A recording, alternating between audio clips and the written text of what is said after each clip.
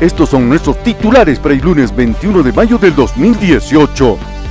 Ministro de Comercio Exterior y Turismo hizo las aclaraciones del caso sobre el encargo a la DIRCETUR de aplicar el reglamento existente sobre la prestación de servicios en turismo de aventura. Dijo que es suficiente la norma genérica que indica los límites y qué está permitido. Ministra de Cultura y ratificó en Cusco que mediante resolución ministerial se aprobó el cambio del director de la Dirección Desconcentrada de Cultura Cusco correspondiendo a la evaluación que se ha realizado en todas las direcciones desconcentradas de cultura a nivel nivel nacional. El alcalde del distrito de Vilcabamba señaló que la Contraloría General de la República y el Ministerio Público tienen presencia en su municipalidad, estando pendientes a las informaciones que se requiera. Además, dijo que sigue en investigación atentado del que fueron objeto. El de la Divin Cricusco informó sobre otro lamentable caso de violación consumó sujeto de 60 años de edad en contra de su menor hija. Niña tuvo que fugar de casa ante reiterados actos de violación entre sus 9 y 14 años de edad. Mal padre fue detenido preventivamente. Jefe de la séptima macroregión policial Cusco Apurímac señaló que se encuentra abocado a la optimización de labor de las distintas divisiones policiales que integran la región policial. Adelantó que ya se tiene un plan de seguridad para las fiestas del Cusco 2018. Espectacular.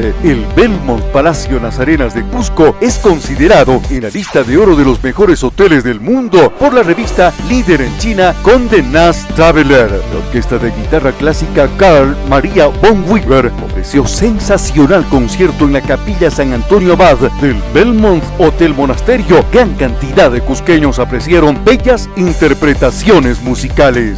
Alcalde de la Municipalidad Provincial del Cusco dio su opinión sobre el nombramiento del nuevo titular de la Dirección Desconcentrada de Cultura Cusco, aguardando que Luis Nieto de Gregory haga un buen papel en el cargo. El director regional de Defensa Civil informó que ya se procedió a la entrega de ayuda humanitaria ante la baja de temperatura en distintas provincias de la región, habiendo facilitado 6.075 frazadas y 55 toneladas de alimentos.